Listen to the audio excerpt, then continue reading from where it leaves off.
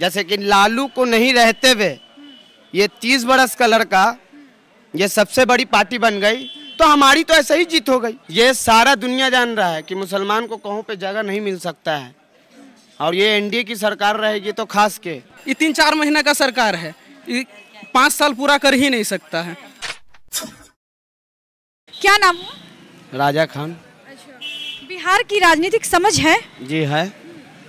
नीतीश कुमार ने सातवीं बार बतौर मुख्यमंत्री शपथ लिया। उनके साथ ही दो डिप्टी सीएम सहित बारह और मंत्री ने शपथ लिया, जिसमें दलित ये पिछड़े और सवर्ण शामिल है। एक भी मुसलमान को कैबिनेट में जगह नहीं दी गई। क्या कहते देखिए, सबसे बड़ी बात है कि जीत हार, जीत का हार का जहाँ तक आता है, जिसको हाथ में मिल गया रिज़ल्ट, वो जीत गया।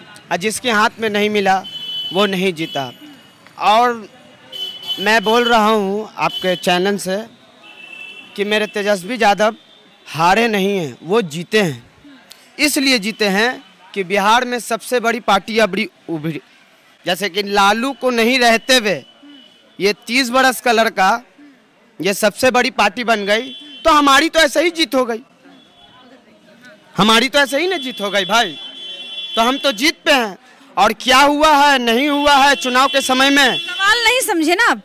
सवाल मेरा ये है कि मुसलमान एक भी मंत्री नहीं बनाया गया कैबिनेट में जगह नहीं मिली उसको। इस पे आप क्या कहते हैं? क्या सोच रहे हैं? अरे तो इस पे कहना क्या है मैम?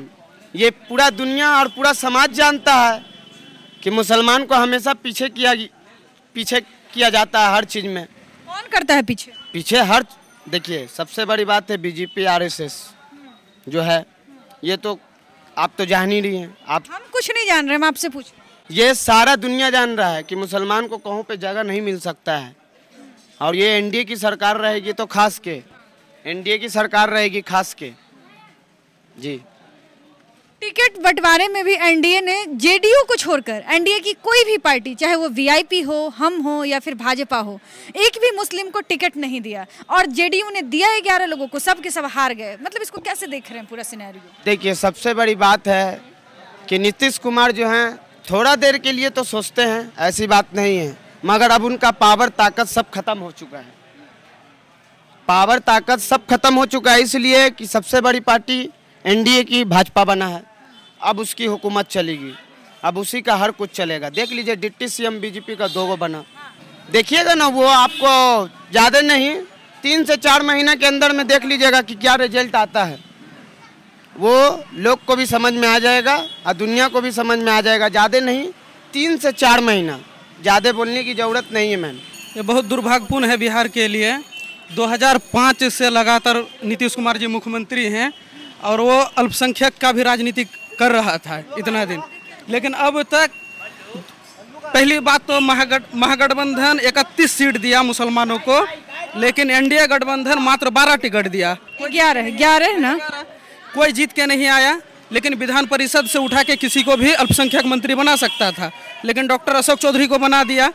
मुसलमानों को ये मंगल पांडे। नहीं दिया।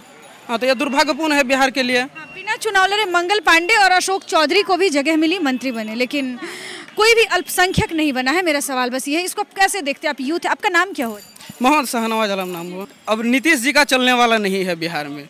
वो सिर्फ़ मोहरा बन के काम करेगा बीजेपी के लिए क्योंकि उसका उसका उसका तैंतालीस ही सीट आया है, जबकि बीजेपी चौहत्तर सीट लाया है। बीजेपी दो डिप्टी सीएम बनाए इस बार, और कहा जाता था कि नीतीश का सबसे बड़ा सहयोगी है सुशील कुमार मोदी। उसको भी बाहर रखा गया है, ताकि नीतीश कुमार को सत्ता से बेदखल किया जाए। ये तीन चार महीने का सरकार है पाँच साल पूरा कर ही नहीं सकता है।